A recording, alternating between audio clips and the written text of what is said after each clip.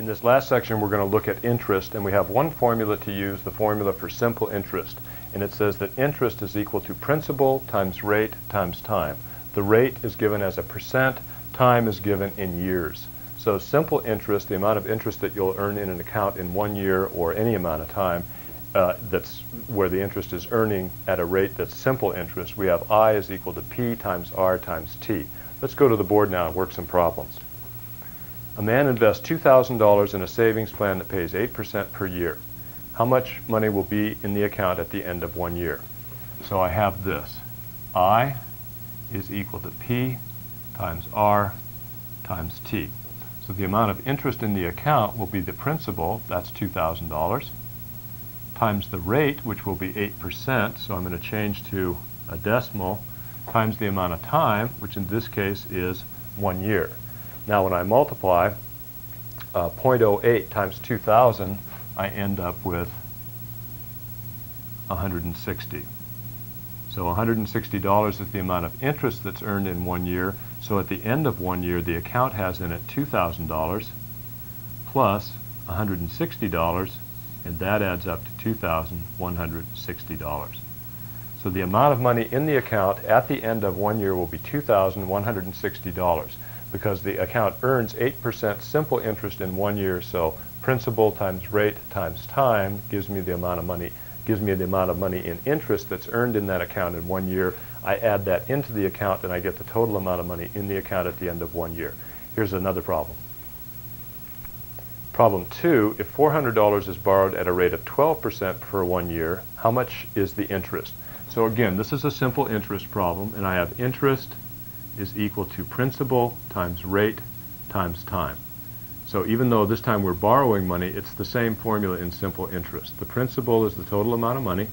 The rate in this case is 12%, so 0.12, and then the amount of time again is one year. So if I multiply 400 times 0.12 times 1, I end up with $48. And this time, we're asked for simply how much is the interest, and so the interest is $48. So principal times rate times time. Principal is the amount of money that you start with. The interest rate is a percent, which I change to a decimal, and then the amount of time is always given in years. So if you borrow $400 at a simple interest rate of 12%, after one year you will owe in interest $48. Here's another problem. Problem three, a loan of $1,200 at 9% simple interest is paid off in 90 days. What is the interest? So this time I have the uh, amount of time given in days, and so I'm going to have to convert that into years. So again, interest is principal times rate times time, and time is given in one year. So I want to find out the amount of interest, so I take my principal, 1200, and multiply times the rate, 0.09, so I write my 9% as a decimal 0.09. And now I have 90 days, so I'm going to write that as a fraction of a year. 90 over, now you might think this should be 365, but when it comes to interest problems, the standard number of days in a year that we use is 360. That might seem a little odd, but that's the way it is, and you have to use 360 in a problem like this. So 90 divided by 360, not 90 divided by 365. Now, I'm going to do this multiplication, 1200, excuse me, times 0.09 times 90 divided by 360. When I work all that out on the calculator, I end up with $27.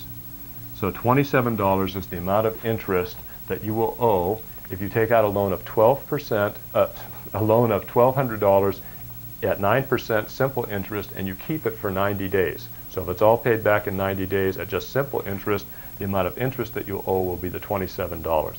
Let's look at our next problem. Okay, problem four, let's see. A woman puts $5,000 into a savings account that pays 6% annually. How much money is in the account at the end of two years? Okay, so now this pays 6% simple interest annually. So at the end of one year, I'm going to get 6% of this amount right here. So the first thing that I want to do is find out what that is. So the interest at the end of the first year will be the principal, it's the amount I started with at the beginning of the year, times 0.06 times one year. now that will come out to be 5,000 times 0.06, that will be $300 in interest. Now that's the first year. Now, starting the second year, the interest is going to be the principal, which is the amount of money that was in the account at the end of the first year, plus the interest that was earned after one year. So now that's $5,300 times 0.06 times one year. So this time now I have 0.06 times 5,300. That comes out to be, let's see, 6 times 3 is 18. So I'm going to have $318. So now I want to find the total amount of money in the account at the end of this two years. So at the end of the first year, I had $300 that I earned in interest, so the amount in the account was 5,300. Now I earned another $318 in interest, so I have to add that on to the amount that I had at the beginning of the year. So when I do that, I'm going to end up with a total of 5,300 plus 318, so $5,618.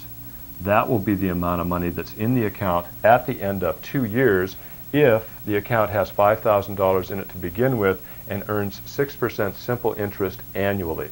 So first I calculate the interest at the end of the first year, add that on to the principal, calculate the interest at the end of the second year, add that on. That's my total amount in the account at the end of two years.